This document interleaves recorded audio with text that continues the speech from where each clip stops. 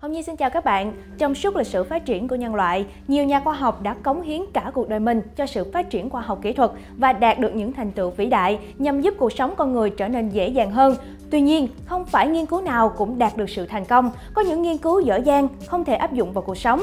Có một số phát minh không được công nhận và chìm vào quên lãng. Bên cạnh đó, cũng có những nhà phát minh đã phải hy sinh bởi chính những phát minh của mình tạo ra. Vì thế, trong video ngày hôm nay, chúng ta sẽ cùng điểm lại 10 kết cục bi thảm của các nhà phát minh do thất bại trong quá trình thử nghiệm và vận hành sản phẩm của mình. Đầu tiên đó là Henry Smolinski. Năm sinh của ông đang là dấu chấm hỏi và ông mất năm 1973. Henry Smolinski là một kỹ sư được đào tạo tại công ty hàng không vũ trụ và khoa học quốc phòng của Mỹ. Sau khi rời công ty, ông sáng lập nên công ty Advanced Vehicle Engineer nhằm tập trung nghiên cứu thương mại hóa mô hình xe hơi có thể bay được. Vào năm 1973, công ty phát triển hai mô hình xe bay đầu tiên bằng cách là kết hợp cánh máy bay với chiếc xe Ford. Smolinski thì dự định sẽ bắt đầu sản xuất thương mại và bán lẻ mẫu xe trên vào một năm sau đó. Tuy Tuy nhiên, vào ngày 11 tháng 9 năm 1973, ông đã thực hiện một chuyến bay thử nghiệm cùng với phi công Harold Black và cả hai đều đã tử nạn trong chuyến bay do một thanh chống cánh đột ngột bị rơi ra khỏi xe. Ủy ban an toàn giao thông lúc đó thì đã kết luận nguyên nhân của tai nạn là do mối hàng giữa các thanh kim loại và một phần ảnh hưởng của chiếc xe Ford. Cái tên thứ hai mà mình muốn nói đến trong video này đó là Brent Rachel, sinh năm 1879, mất năm 1912. Brent Rachel là một nhà phát minh người Áo được sinh ra tại Pháp với công việc chính là một thợ may. Ông đã dành thời gian rảnh của mình để thiết kế một bộ đồ bay nhảy dù dành cho các phi công. Trong quá trình thiết kế ý tưởng của mình thì máy bay là một phát minh còn khá mới mẻ với chuyến bay đầu tiên của anh em nhà Bright bằng chiếc Kitty Hawk vào năm 1903. Thời bấy giờ thì các kỹ sư vẫn đang nghiên cứu phương pháp giúp phi công có thể thoát ra khi mà gặp sự cố.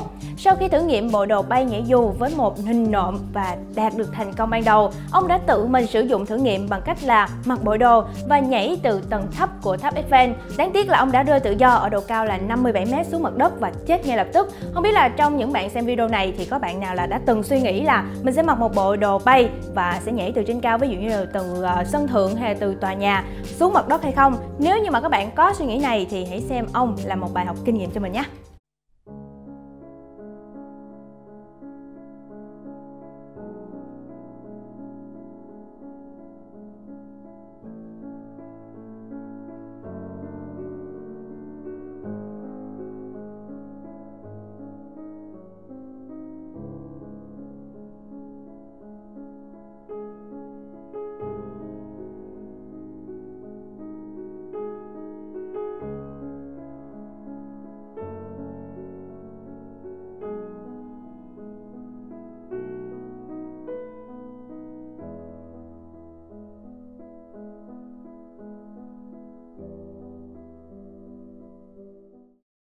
Thứ ba đó là Horace Lawson Hunley, năm sinh là một dấu chấm hỏi và năm mất là năm 1863. Hunley là một luật sư và là một thành viên của cơ quan lập pháp tiểu bang Louisiana. Hunley đã giúp thiết kế và chế tạo 3 mẫu tàu ngầm cho phe liên minh phía Nam trong suốt cuộc nội chiến Mỹ và cuối cùng thì ông đã hy sinh trong quá trình thử nghiệm mẫu tàu thứ ba của mình.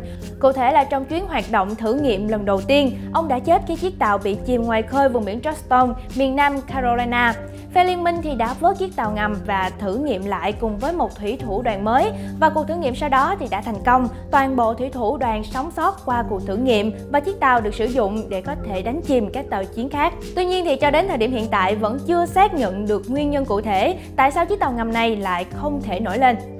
Và cái tên thứ tư đó là Thomas Midgley Jr. sinh năm 1889 và mất năm 1944.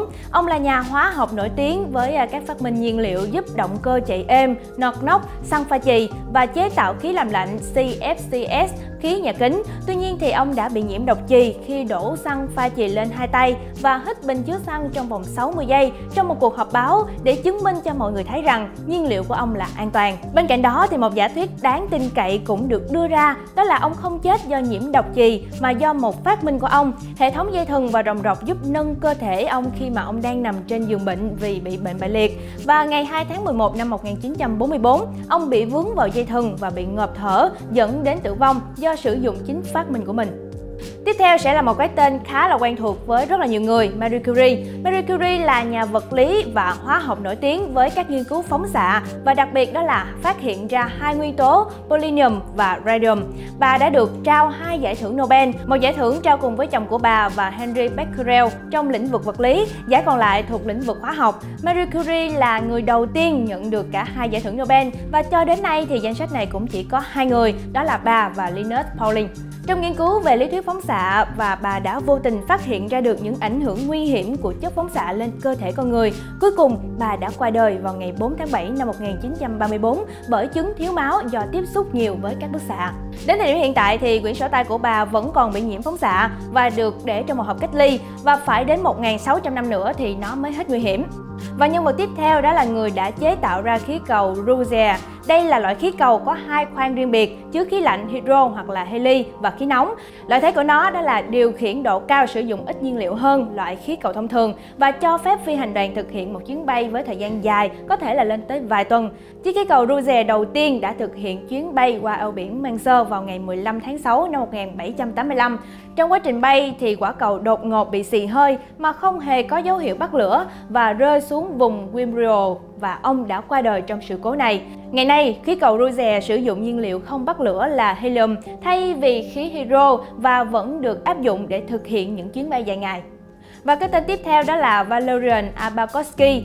Nhà phát minh người Nga này là người đã nghiên cứu chế tạo động cơ xe lửa tốc độ cao Aerowagon. Trong một cuộc thử nghiệm thì chiếc tàu đã thực hiện tốt quá trình thử nghiệm trong lượt đi. Tuy nhiên thì trong lượt về đã trượt đường ray khiến chính ông cùng với 5 người khác tử nạn khi về gần tới thành phố thủ đô. Khi đó ông chỉ mới 26 tuổi.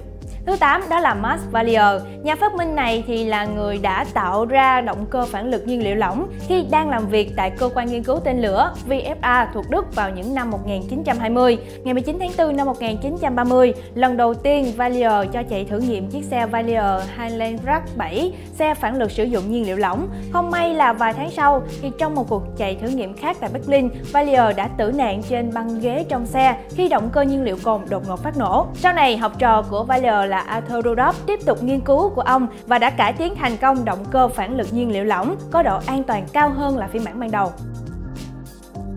William Bullock là cha đẻ của ngành công nghiệp in với phát minh máy in trục lô giúp thời gian in nhanh chóng và hiệu quả hơn, đặt nền móng cho nền công nghiệp in ấn hiện đại. Ông cũng thiệt mạng bởi chính phát minh của mình gây ra. Vào ngày 3 tháng 4 năm 1867, trong khi đang điều chỉnh chiếc máy in mới của mình được lắp đặt cho tờ báo Philadelphia Public Ledger, Bullock đã cố đạp một sợi dây curo ăn khớp vào rồng rọc. Hậu quả là chân của ông đã bị nghiền nát khi vướng vào trục quay của máy.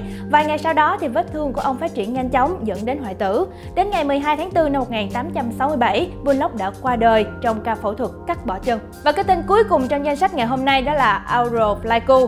Auro Flyco là người chế tạo chiếc máy bay bằng sắt đầu tiên trên thế giới. Vào mùa thu năm 1910 thì Flyco bắt đầu thiết kế máy bay mới và phát triển đường nghệ thuật và chuyên môn dưới sự giúp đỡ của Spiro Harep. Ông đã đặt tên cho mẫu máy bay mới là Flyco 2 và thực hiện chuyến bay tại buổi lễ kỷ niệm 55 thành lập Hiệp hội Văn học và Văn hóa Ru. Rumani. Sau đó thì Flyco tham gia chuyến lưu diễn hàng không qua Sibiu, Prarop và Lazi và một số nơi khác. Bây giờ thì chiếc Flyco 2 có thể bay ở độ cao 1.000m, vận tốc đạt 90 km/h và thực hiện được các pha nhào lộn trên không.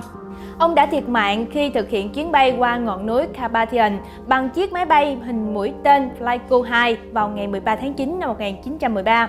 Đây quả là một thành tựu không tồi đối với khoa học kỹ thuật lúc bấy giờ.